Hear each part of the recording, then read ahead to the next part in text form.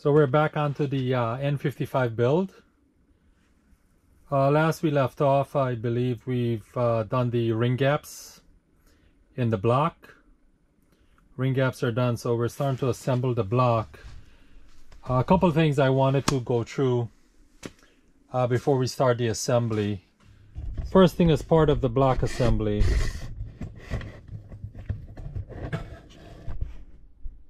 is the installation of the piston oil spray nozzle. Okay, um, I've gone ahead and installed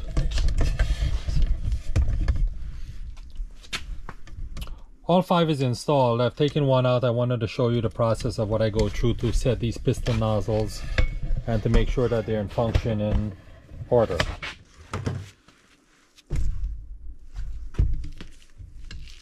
So what we have, we have the screw goes into here and then that gets put into here and torqued down. Couple things. This is a pressure relief valve. Okay, so you want to make sure this is clear of any debris. So two ways of doing that.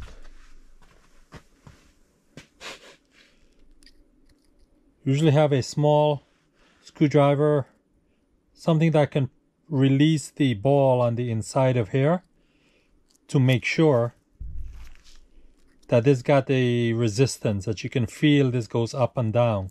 So when the oil comes in, this should relieve the ball on the seat of this pressure relief valve and allow the oil to spray into the pistons through the uh, through the nozzle right here. So oil comes in, pressurized oil. Once the pressure reaches a certain amount of psi, it unseat the ball and allow the oil to get through through the nozzle to fuel to oil the piston. Okay, so I want to make sure I feel the same resistance, the same type of a resistance on all of these when I put them in. If one is a little bit hard or one is a little too soft as compared to the others, I'll replace it.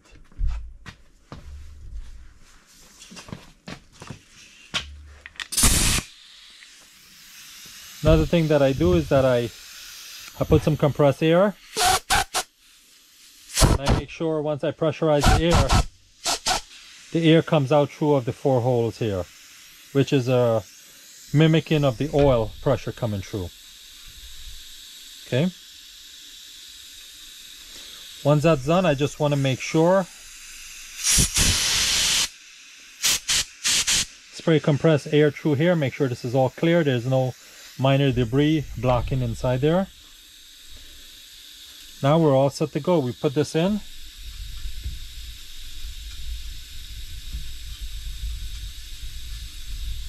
And we torque it down. Now BMW's got a special tool that goes from here to align the angle of this nozzle. I don't have that special tool, so I just go according to a measurement off of the wall to the center of the nozzle. And that's how I uh, set the nozzle and torque it down. Okay, so that's the first step of our block assembly.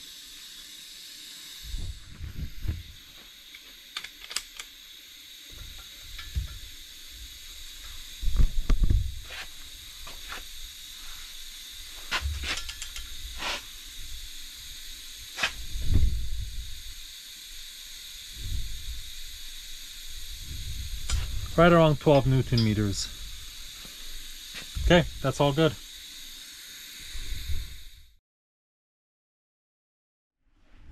Next step of our assembly is uh, go ahead and install all the piston rings onto the piston.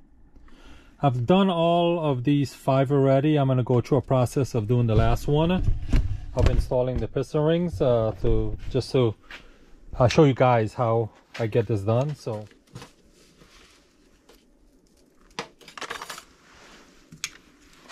First thing we do, we put the oil control ring on. Make sure this is nice and seated, doesn't overlap, and the, the butts, the two ends uh, touch each other.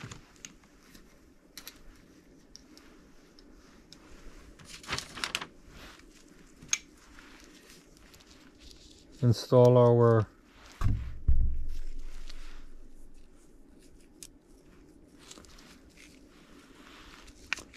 lower control ring into the lower land.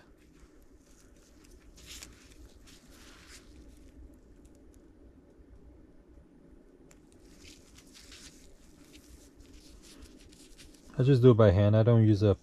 These rings are too small for a piston ring compressor. And I want to make sure that the I offset the gap from the gap. So you can see the yellow here. These are where the two uh, oil ring ends meets up. And say if I put that here, I offset that by putting my gap off to over here so there's no overlapping. Now, I'm going to put my other oil ring, but I'm going to put the gap on this side.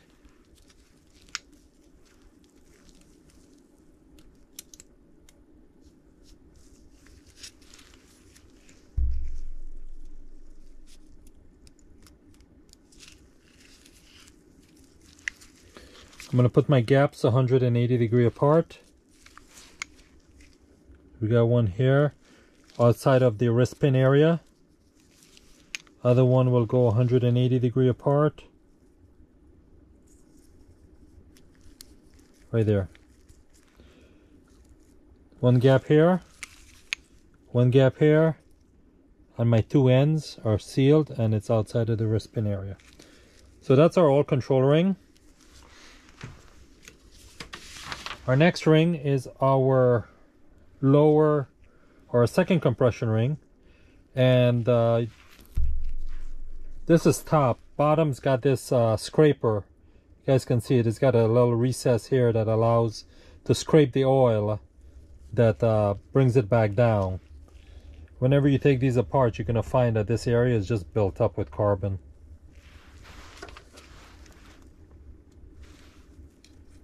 and you can see the markings on the ring should always go on top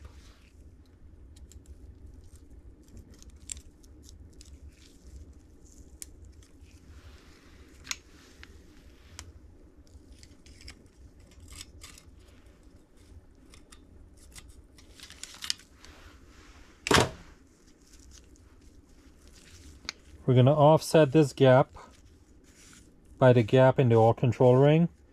We're going to put that right over here.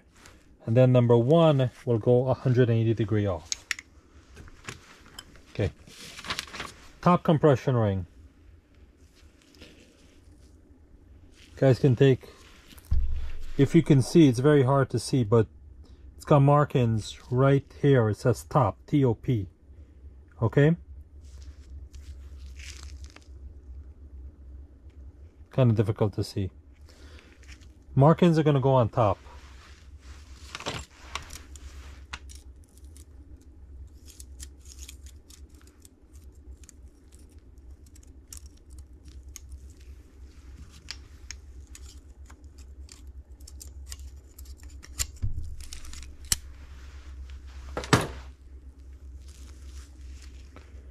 Got our ring gap here.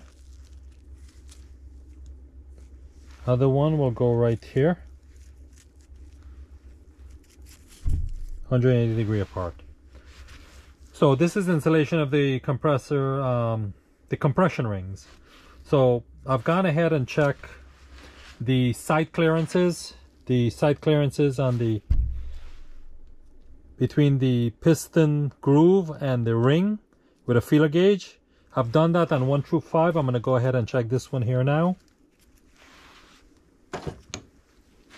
Got the pistons rings on. We'll check our side clearance.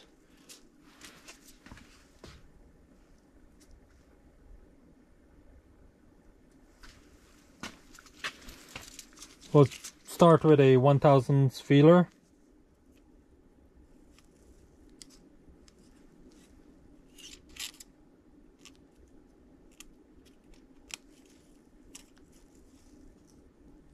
One thousand is good. It's got a nice drag to it. First and top compression ring. That's good. We'll move it up to a thousand and a half. Point zero zero one five.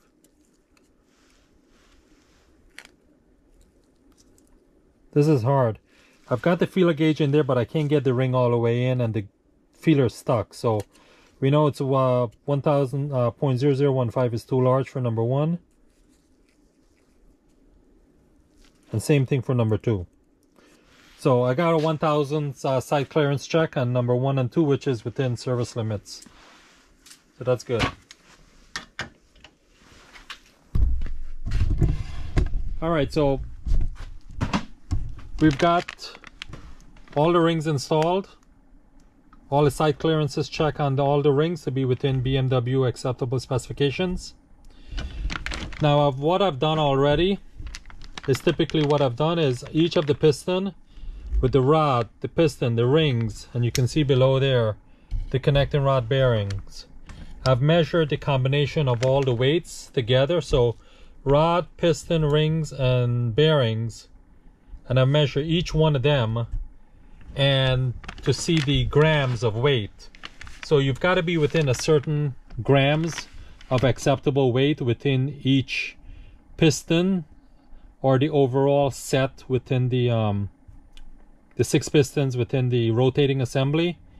I believe the spec is like you have to be within five grams. These these were within three grams as a set. So each rod, piston, rings, and bearings, connecting rod bearings, on all six was within three grams of each uh, piston rod assembly.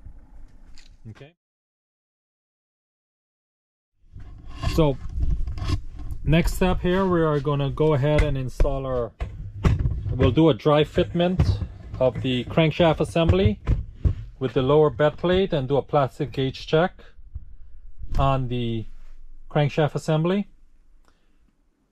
So that'll be able to give us our oil clearance uh, measurement. Before we get started um, right now um,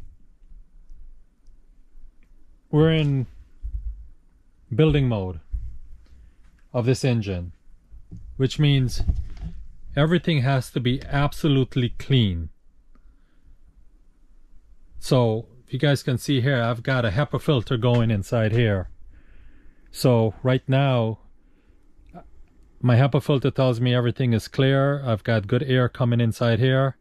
Um, the air inside here is clean to within maybe three microns or something like that. So particles in the air is non-existent and that's what I want. I don't want to have particles flying all over the place when I'm building an engine with putting in new bearings that have any type of uh, contaminants or particulates that's going to stuck on the bearings and it's going to get into the oil or get into the grooving of the crankshaft or anything like that. So during this time there is there is no in my area here there's no disassembly there's no tearing parts apart tearing cars apart tearing engines apart or nothing. We're just in building mode.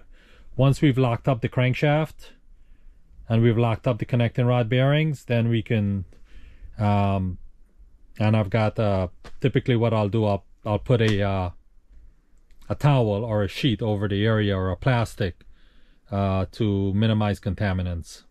Okay? So let's get the uh, bearings installed and do our dry fit.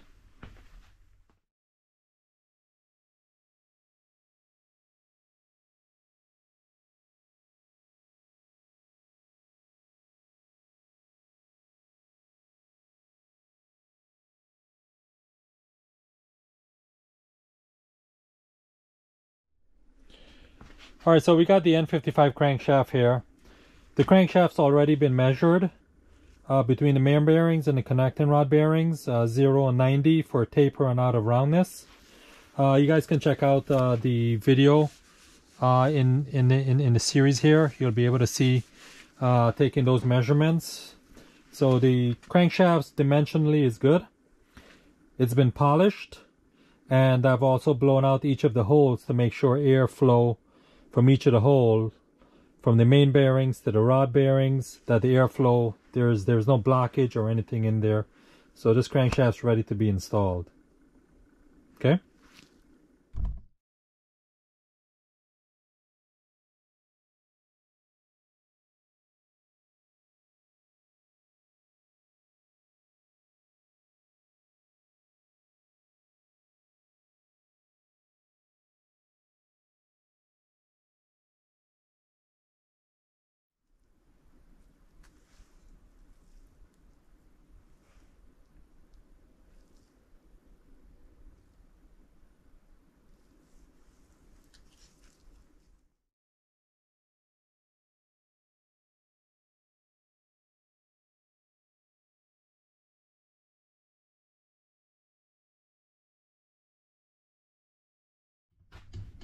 All right, so we've got the crankshaft installed, lower bearings installed, crankshaft installed.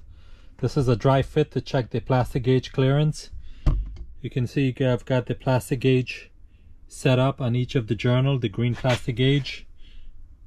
This is going to tell us uh, the clearance supposed to be supposed to be a tighter clearance, so we're using the green Plastigage. We've got our upper half installed on the bed plate. So we're going to go ahead and install our bed plate and get our main bearings clearance.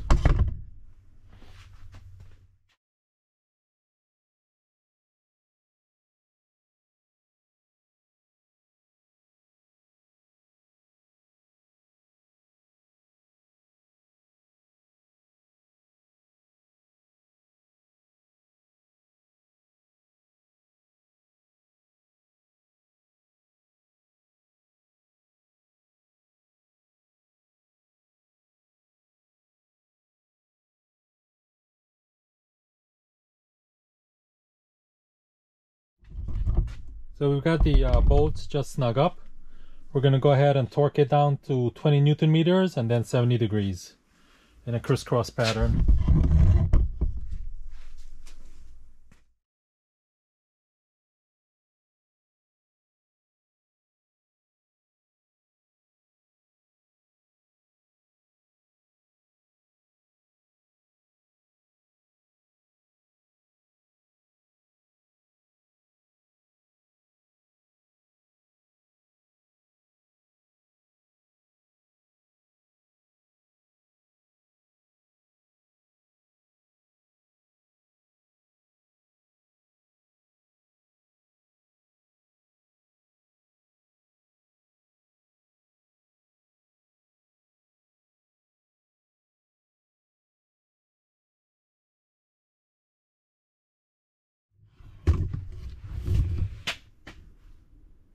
There you have it. Just without doing a measurement check oil clearance looks pretty good.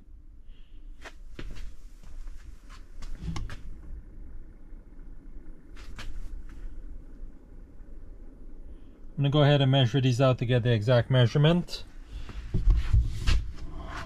I think we should be good. Alright stay tuned for the next step